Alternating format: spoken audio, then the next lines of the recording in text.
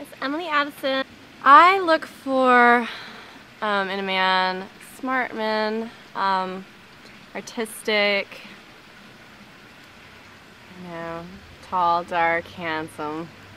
but I'm I'm really into musicians. Um, I don't know. I think models and musicians they kind of just go together, especially into guitar players. Always have been, always will be. yeah, I I need a guy that's entertaining that, you know, has has interesting stuff happening on a day-to-day basis. Cool stories so I'm not the only one doing outrageous stuff. so I gotta keep it on my level.